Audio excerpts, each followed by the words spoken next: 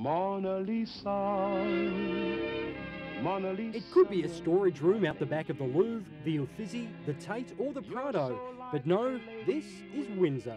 A veritable cornucopia of colours, almost 2,000 pieces just waiting to find themselves a new home.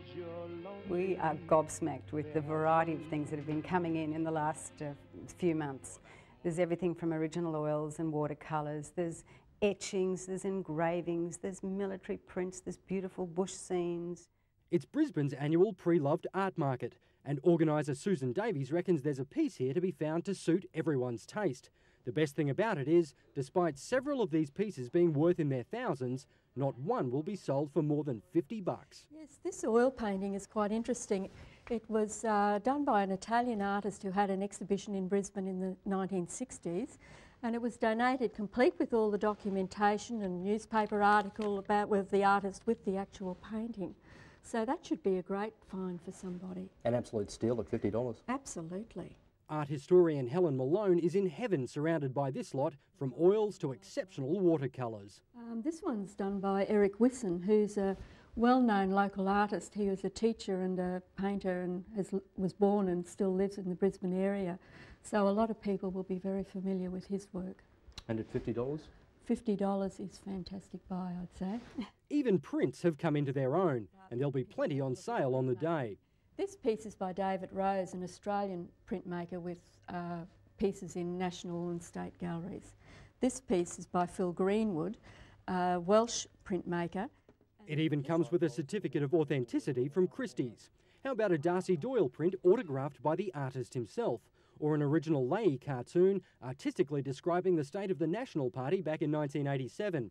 Everything has been donated by generous locals, and even Susan is astounded by some of the pieces, particularly a couple of centuries old engravings. Uh, there's a pair of them, uh, Dr. Johnson and his old friend Boswell. And I think for engraving and old print collectors, uh, these are uh, very much collector's items.